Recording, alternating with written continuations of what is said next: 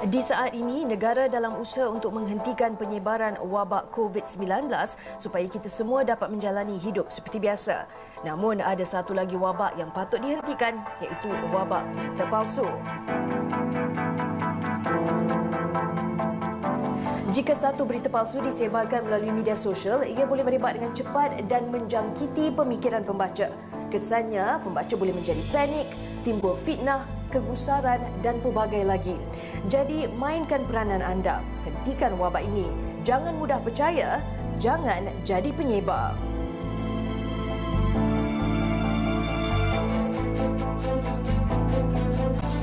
Pastikan anda perolehi segala berita yang sahih dan terkini di rangkaian berita Media Prima. Ingat, tak pasti, jangan kongsi. Hentikan wabak berita palsu.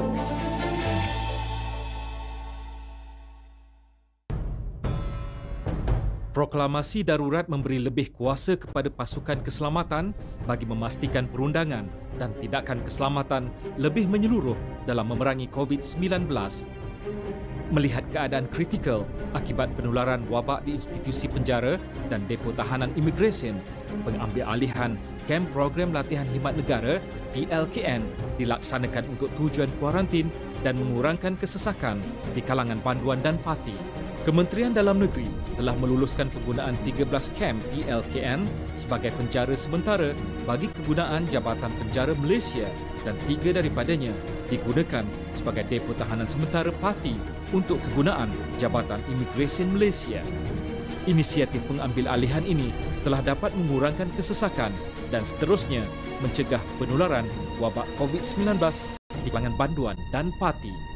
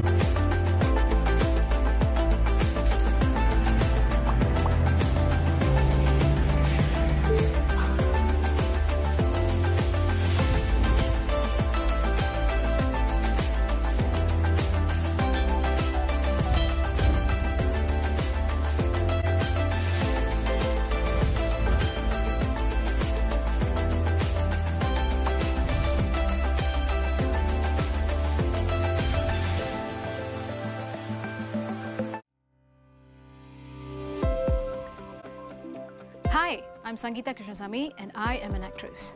The local film industry is not able to flourish due to the COVID-19 pandemic and Malaysians are also unable to watch their favorite films in cinemas. But we can change this if we all decide to get vaccinated. I am planning to and I encourage you to do the same. It's time to listen to your medical experts. This vaccination is not only important to protect ourselves but to protect our loved ones. Lindung diri, lindung semua.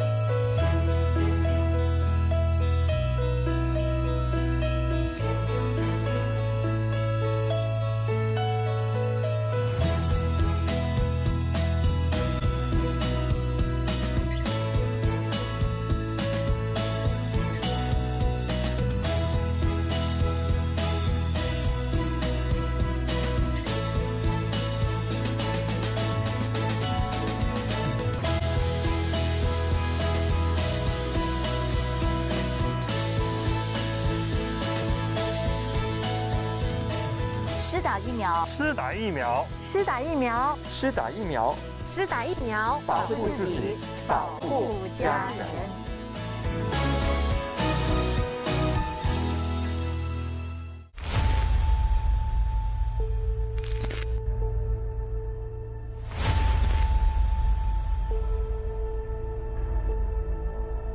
Penjarakan sosial tu agak sukar. Persentuhan masih berlaku.